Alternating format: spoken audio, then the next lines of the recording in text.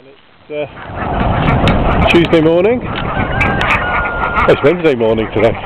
Bit right. And there we go. There the ducklings out for the first time. And there they go. Just a very quick video, but at least it shows they're alive and well.